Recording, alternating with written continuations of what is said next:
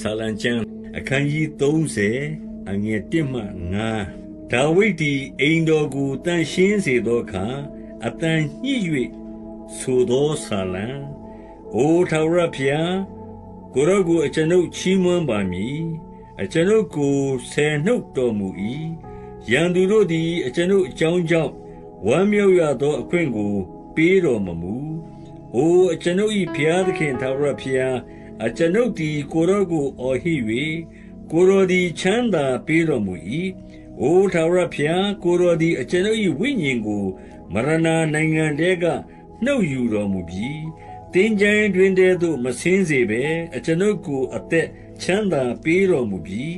ထာဝရဘုရား၏တန်ရှင်းသူတို့ ထာဝရဘုရားကို ထောမနာတည်ခြင်းဆိုကြလော့တန်ရှင်းသော နာမတော်ကို ချီးမွမ်းကြလော့ အမျက်တော်သည်ခဏထွက်၏ကျေးဇူးတော်မူကားတသက်လုံးတည်၏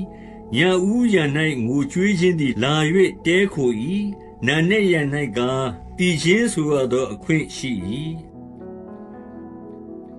အငယ်6မှ7ငါသည်လှုပ်ရှားခြင်းနှင့်အစဉ်ကင်းလွတ်လိမ့်မည်ဟုကောင်းစားစဉ်အခါအကျွန်ုပ်အောင်းမေ့ပါ၏။အိုထာဝရဘုရားကျေးဇူးတော်အားဖြင့်သာအကျွန်ုပ်၏တောင်သည်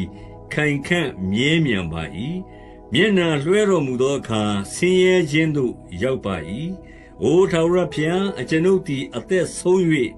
တင်းကြိုင်တွင်တည်းသို့ဆင်းလျင်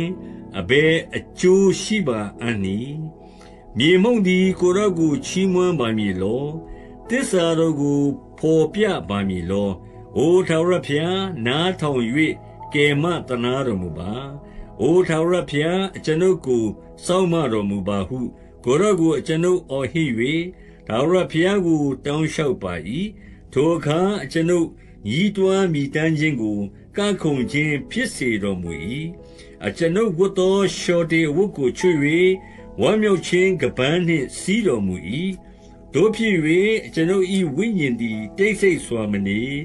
ကိုရော့ကိုတည်ခြင်းဆိုပါမည်။ အိုကျွန်ုပ်၏ဖျားသခင်သာရဖျားကျေးဇူးတော်ကို အစဉ်အမြဲချီးမွမ်းပါမည်။